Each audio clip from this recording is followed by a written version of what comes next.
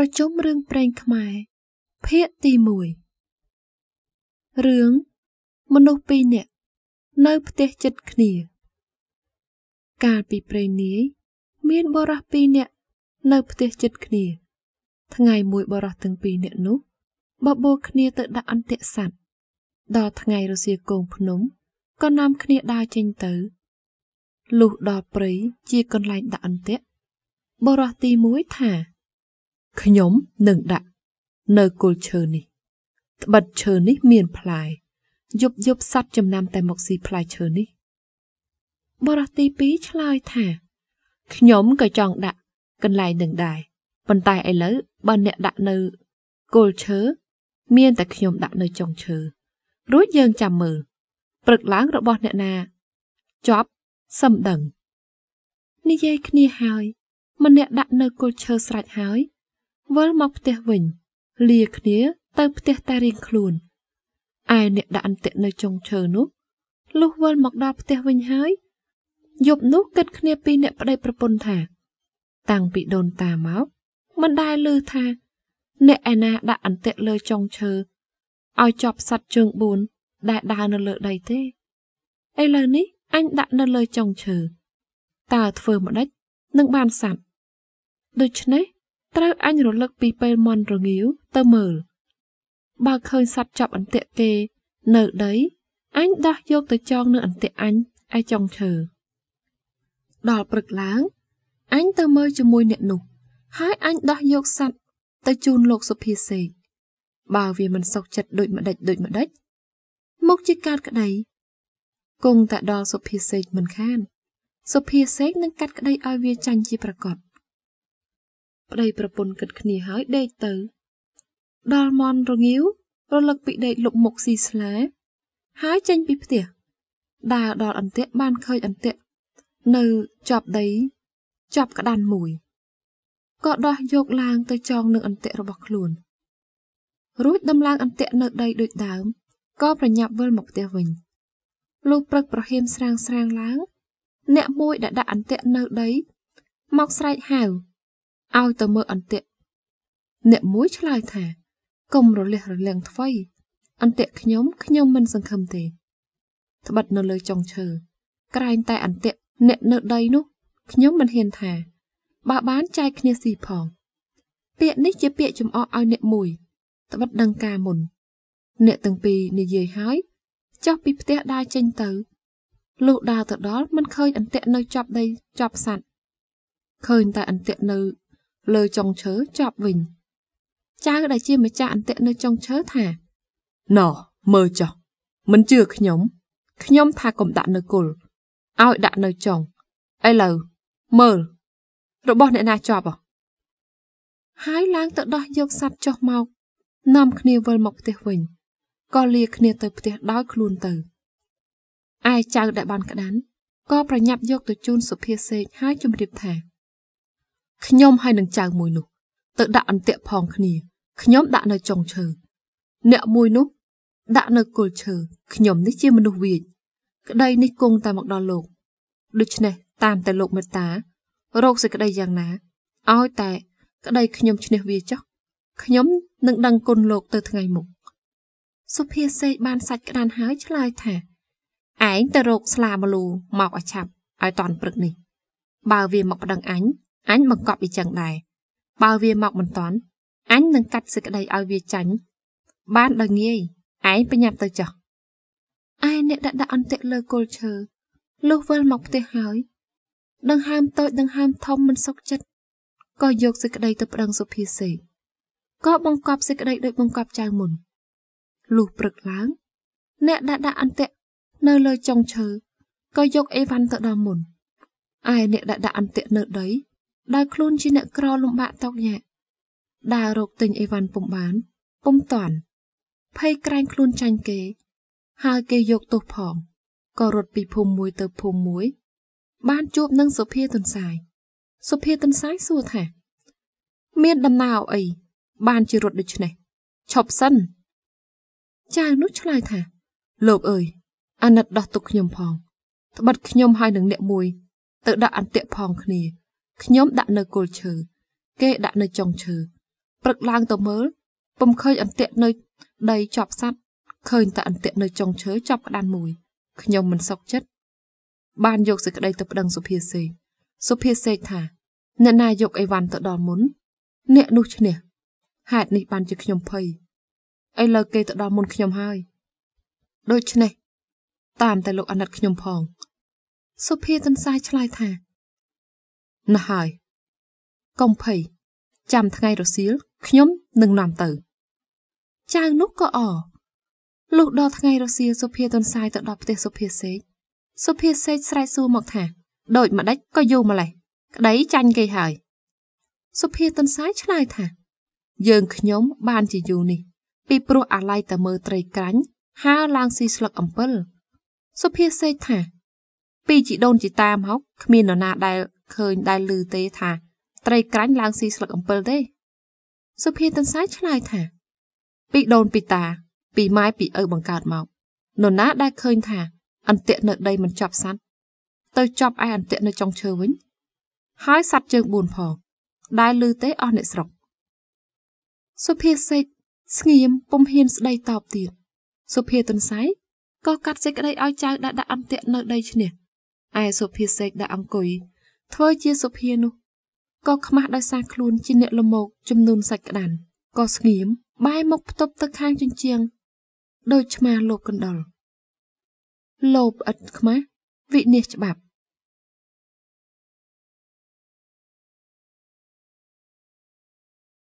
រឿងចចកកាលពីព្រេងនាយមានចចកត្រោះធំមួយ ដល់ខែលំហើយ វាដើររកត្រពាំងបឹងបួរដែលរីងទឹកដើម្បីចាប់ត្រីស៊ីលុះទៅដល់ត្រពាំងមួយរីងទឹកអស់នៅតែប្រឡងមួយឃើញសុទ្ធតែភក់មានត្រី កំពឹសបង្កង ក្តាមជាច្រើនណាស់ចចកឃើញហើយមានចិត្តត្រេកអររីករាយគិតថាថ្ងៃនេះអញមានលៀបធំណាស់ជាលៀបចម្លែកជាងសពថ្ងៃឯកំពឹសមានប្រាជ្ញា ឮចចកថាដូច្នេះហើយក៏និយាយលួងលោមចចកថាយើងទាំងអស់គ្នាសុទ្ធតែជាចំណៃរបស់បងចចកឯងទាំងអស់ហើយប៉ុន្តែយើងប្រឡាក់ភក់ណាបងឯងស៊ីយើងទាំងភក់ដូច្នេះមិនឆ្កាញ់ពិសាទេចចកឆ្លើយថា ធ្វើដូចមកដេចនឹងឆ្ងាញ់ពិសាកំពឹសឆ្លើយថា ត្រូវបងចចកយកយើងទៅលាងទឹកឲ្យស្អាតហើយសឹមស៊ីនោះទៅឆ្ងាញ់ពិសា ចចកថាដូចម្ដេចនឹងយកទៅលាងបាន បើច្រើនដល់ម្លេះកំពឹសថា បងចចកកុំព្រួយចិត្តខ្ញុំធានាគិតឲ្យបងបានស្រួលប៉ុន្តែត្រូវបងឯងតាមខ្ញុំចចកឆ្លើយឡើងថា បងឯងធ្វើដូចម្ដេចក៏ខ្ញុំតាមទាំងអស់កំពឹសថា ធ្វើដូច្នេះចូលបងឯងចូលមកដេកននីក្នុងភក់នេះ ហើយយើងរាល់គ្នា នឹងបានតោមខំរមមកឯង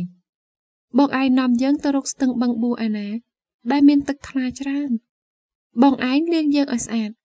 ហើយសឹមបងឯងស៊ីឆ្ងាញ់ពិសាតាមចិត្តចុះឯចចកជាសัตว์លោភហើយល្ងងក៏ធ្វើតាមពាក្យកំពឹសកំពឹសនឹងត្រីក៏បបួលគ្នាតោងរោមចចកទៅលុះទៅដល់បឹងធំមួយវិញមានទឹកថ្លាល្អចចកដើរចុះទៅក្នុងទឹក អស់ត្រីកំពឹសលោតទៅក្នុងទឹកហើយប្រាប់ថា បងចចកឯងទៅជញ្ជូនមកឲ្យអស់សិនសឹមមកស៊ីឲ្យឆ្អែតតែម្ដង យើងនៅចាំបងនៅទីនេះចោចកក៏ទៅជញ្ជូនត្រីនឹងកំពឹសមកលុះត្រាតែអស់ពីត្រពាំងនោះ ពួកត្រីកំពឹសក្តាមខ្យងដឹងថាចចកជញ្ជូនអស់ហើយក៏នាំគ្នាមុជក្នុងទឹក បាត់អស់ទៅ ឯចចកដឹងថាកំពឹសបញ្ឆោតដូច្នេះហើយខឹងណាស់ដើរទៅបបួលអស់សត្វធំតូចដំរីរមាសខ្លា គ្រប់ភាសាសត្វទាំងពស់ថ្លាន់ពស់ធំពស់តូចទាំងសត្វហើគ្មានសេះសល់ដល់តិចបបួលគ្នា មកបាចទឹកបឹងនោះឲ្យរីងនឹងបានចាប់ត្រីក្នុងបឹងនោះស៊ីឲ្យអស់ឲ្យពស់ថ្លាន់ធ្វើជាទំនប់ឯសត្វឯទៀតក៏បបួលគ្នាបាច សត្វក្នុងបឹងដឹងថាចចកបបួលគ្នាបាចទឹកឲ្យរីងទាំងបឹងភ័យណាស់ក៏គិតគ្នាថាយើងធ្វើដូចម្ដេចនឹងបានឲ្យសត្វទាំងអស់នោះលែងបាចទឹក កាលនោះត្រីក្រាញ់ឆ្លើយឡើងថាខ្ញុំលើគេនិយាយថាបងសុភាទន្សាយជាអ្នកមានប្រាជ្ញា ចេះដោះទុកមនុស្សសត្វផងជាច្រើនណាស់ហើយបើដូច្នេះខ្ញុំនឹងទៅពឹងបងសុភាទន្សាយឲ្យមកជួយដោះទុកអស់យើង ពួកត្រីគិតគ្នាហើយក៏ប្រើត្រីក្រាញ់ទៅអញ្ជើញសុភាទន្សាយត្រីក្រាញ់ប្រឹងននៀលទៅលុះដល់ត្រូវថ្ងៃក៏ក្រៀមស្រកាអស់ដល់យប់សុភាទន្សាយចេញមករកស៊ីបានឃើញត្រីក្រាញ់ននៀលដូច្នេះក៏ចោទសួរថាបងត្រីក្រាញ់ទៅណាត្រីក្រាញ់ឃើញសុភាទន្សាយហើយ មានចិត្តត្រេកអរណាស់ក៏និយាយអង្វរថា បងសុភាទន្សាយអាណិតខ្ញុំ ត្បិតត្រីទាំងអស់ក្នុងបឹងគេប្រើខ្ញុំមកឲ្យអញ្ជើញបងសុភាទន្សាយទៅត្បិតឮទាំងសัตว์ទាំងមនុស្សនិយាយថាបងជាមនុស្សមានប្រាជ្ញា ចេះកាត់សេចក្តីដោះទុកបើអ្នកឯណាកើតទុកបងតែងតែទៅជួយដោះទុកគេមិនដែលខានឥឡូវមានដំរីក្របីគោរមាសរមាំងប្រើសក្តាន់ជ្រូកពោះធំពោះតូចទាំងសัตว์ហើគឺកុកក្រៀលបង្គាលខ្ចង តុងតោមក្អែកទឹកប្រវឹកស្មោញទាំងប៉ុន្មាន បានបបួលគ្នាមកបាច់ទឹកបឹងឲ្យរីងនឹងបានចាប់អស់ត្រីអណ្ដើកន្ធាយស៊ីជាចំណីឲ្យអស់ពីបឹងនេះឯងបាទដូច្នេះបងសុភាទន្សាយអាណិតជួយដោះទុកអស់បងប្អូនខ្ញុំឲ្យបានរួចពីភ័យម្ដងនេះនឹងបានល្បីគេឈ្មោះតទៅអស់យើងនឹងតបគុណបងសុភាទន្សាយឯងយើងមិនភ្លេចគុណដរាបដល់អស់ជីវិតឯសុភាទន្សាយ ឮត្រីក្រាញ់និយាយអង្វរដូច្នេះក៏ឆ្លើយថា បងត្រីក្រាញ់ទៅមុនចុះទៅប្រាប់អស់បងប្អូនកុំឲ្យផិតភ័យចាំខ្ញុំជួយដោះឲ្យរួច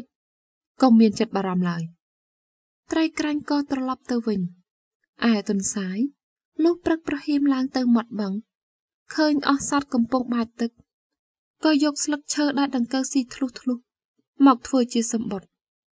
ហើយស្រែកហៅអស់សត្វទាំងនោះថា ណែបងប្អូនទាំងអស់គ្នាចាំស្ដាប់ខ្ញុំត្បិតព្រះអិន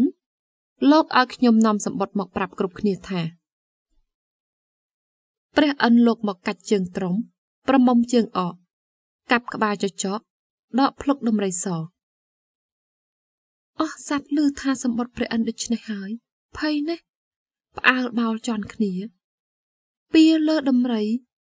ក្របីរមាស់រមាំង ស្ទុះបោលទៅជន់លើពោះថ្លាន់ជាទំនប់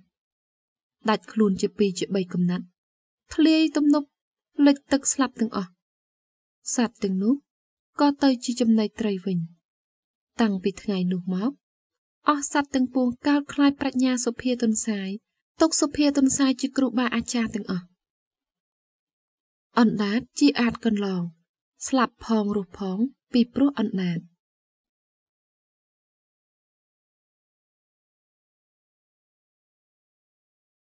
រឿងពស់កេងកង កាលពីព្រេងនាយនៅលើដីយើងនេះ គ្រប់ស្រុកទាំងអស់มันមានពស់ពឹសនិងពស់ឥតពឹសទេ មានតែពស់កេងកង មាននិទានដំណាលថា កាលដើមឡើយ មានមនុស្សពីរនាក់ប្តីប្រពន្ធប្រពន្ធឈ្មោះនីមានកូនស្រីមួយឈ្មោះនាងអេតប្តីនោះទៅជួញអង្កាំ បាត់ជាយូរអង្វែងថ្ងៃមួយ បងប្អូនចិត្តខាង គេបបួលគ្នាទៅរកអោស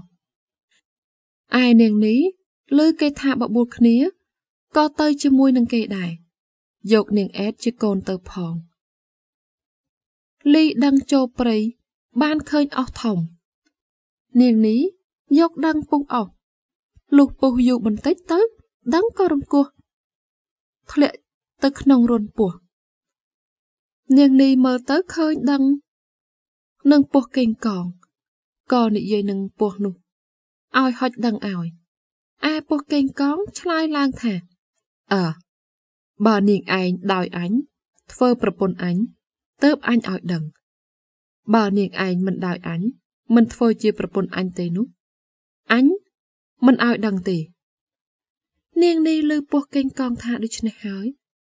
ហេតុតែជាស្រីខូច ក៏ទទួលព្រមថាអើលែងតែអ្នកឯង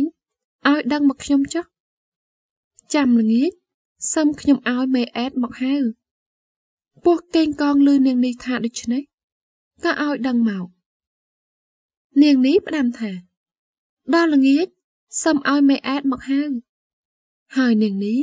ក៏ទូលអស់ទៅផ្ទះជាមួយនឹងនាងអែតលុះដល់ប្រលប់នាងនេះក៏ប្រើមេអែតជាកូន ឲ្យទៅហៅពោះគីងកង នាងអែតទៅដល់ឈរនៅមាត់រុនពោះហៅថាពោះគីងកងអើយនាងនេះឲ្យហៅឯពោះគីងកងលឺហើយលូនចេញមកនាងអែតឃើញពោះក៏ភ័យខ្លាចព្រឺស្ញើបអស់ទាំងខ្លួនប៉ុន្តែខ្លាចម្ដាយព្រោះម្ដាយប្រើមកក៏ខំសង្កត់ចិត្តនាំពោះទៅផ្ទះពោះនោះធំណាស់លូនទៅលើស្មៅបាក់រៀបអស់ ដល់ផ្ទះហើយក៏ឡើងទៅដេកជាមួយនឹងនាងនីនាងនីនិយាយនឹងពោះកេងកងថាខ្ញុំមានប្តីឥឡូវនេះគាត់ទៅជួញអង្កាំពីរ3ឆ្នាំមកម្ដងពោះកេងកងសួរថា ប្តីនាងឯងទៅប្រហែលថ្ងៃប្រហែលខែទៀតនឹងមកដល់នាងនេះឆ្លើយថាមិនដឹងជាប្រហែលខែប្រហែលថ្ងៃទៀតនឹងមកដល់ទេពោះកេងកងនឹងនាងនេះក៏ដេកលក់ជាមួយគ្នាទៅ ដល់ចិត្តភ្លឺទៅពោះកេងកងលានាងនេះទៅរូងវិញ នាងនេះផ្ដាំថាបើប្តីខ្ញុំមកខ្ញុំមិនឲ្យមេអែតទៅហៅទេ អ្នកក៏មកបើប្តីខ្ញុំមិនតាន់មកនោះខ្ញុំប្រើមេអែតឲ្យទៅហៅអ្នកសឹមអ្នកមកពោះកេងកងក៏ទៅរូងខ្លួនវិញទៅរាល់តែល្ងាចនាងនេះប្រើមេអែតឲ្យទៅហៅពោះកេងកង នាងអែតខ្លាចម្ដាយ ក៏ទៅហៅតាមពាក្យម្ដាយប្រើប៉ុន្តែក្នុងចិត្តខ្លាចពោះនោះណាត្បិតពោះនោះធំណាស់ហើយវែងផង មួយទៀតខឹងក្នុងចិត្តត្បិតម្ដាយសហាយនឹងពោះនាងអែតទៅដល់មាត់រូងហើយហៅថាពោះកេងកងអើយនាងនេះឲ្យហៅពោះកេងកងលឺក៏លូនចេញមកហើយឆ្លើយថាអែតអើយថាអញមិនទៅឪពុកអែតនៅ កាត់ក្បាលអញដាច់ នាងអែតឆ្លើយថាឪពុកអញទៅជួញអង្កាំពីរ3ឆ្នាំមិនតាន់មកដល់ពោះកេងកងលឺនាងអែតប្រាប់ដូច្នេះក៏លូនចេញអំពីរុនមក